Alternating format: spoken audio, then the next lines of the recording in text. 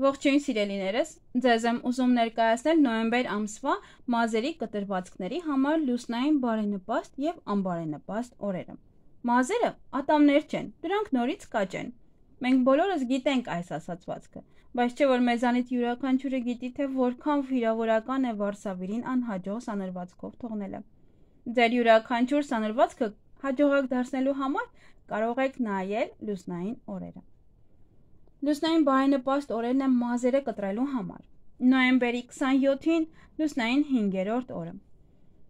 Լավ օրեր են մազերը կտրելու համար։ Նոյեմբերի 16-ին լուսնային 23-րդ օրը, նոյեմբերի 19-ին լուսնային 26-րդ օրը, նոյեմբերի 24-ին լուսնային 2-րդ օրը։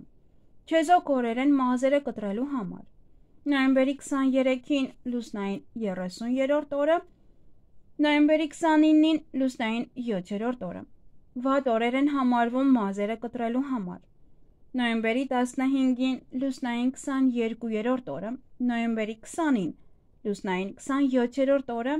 նոյեմբերի 21-ին լուսնային 28-րդ օրը, նոյեմբերի 26-ին լուսնային 4-րդ օրը եւ նոյեմբերի 28-ին լուսնային 6-րդ օրը։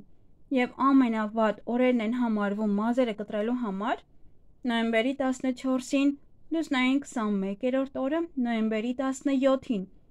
լուսնային 24-րդ օրը, նոյեմբերի 18-ին լուսնային 25-րդ օրը, նոյեմբերի 22-ին լուսնային 29-րդ օրը, նոյեմբերի 25-ին լուսնային 3-րդ օրը եւ նոյեմբերի 30-ին լուսնային 8-րդ օրը։